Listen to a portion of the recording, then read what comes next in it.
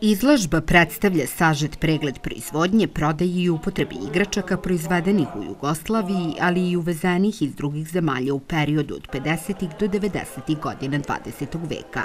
Cilj izložbe je da se najmlađi upoznaju sa igračkama starijih generacija, dok stariji mogu da se podsete svog detinjstva.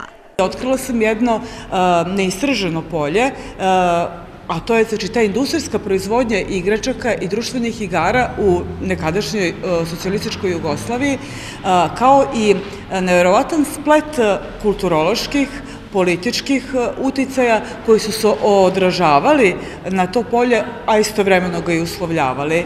Tako da sam istražujući zajedno sa kolegama Nemanjom Trifunovićem, koji je takođe istoričar kao i ja, i Sofijom Pršić etnologom, uradili izložbu koja je bila vrlo atraktivna, u kojoj su izložene e, igračke iz muzijske kolekcije, kolekcije Vladimira Radojičića i koja je, moram da se pohvalim, privukla preko 4000 posetilaca u Narodnom muzeju u Kraljevu.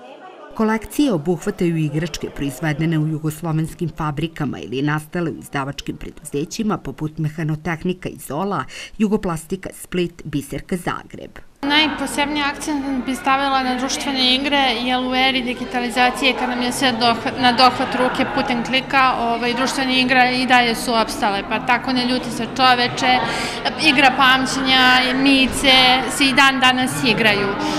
Monopol bi isto izdvojila, ne ljuti se čoveče je jedna od meni najzanimljivijih igara zato što se nekad zvala ne ljuti se bat, u duhu vremena u kome je nastala. Monopol koji je pristigao krajem 70. godina ovaj, Jugoslaviju na engleskoj verziji je vrlo brzo bio popularan među ovaj, žiteljima Jugoslavije i dobio je verziju jugoslovenski i srpski monopol gde je Ostrovo Bled bilo jedna od najskupljih ovaj, polja. Postavka izložbe igračaka otvorena je do sredine oktobra.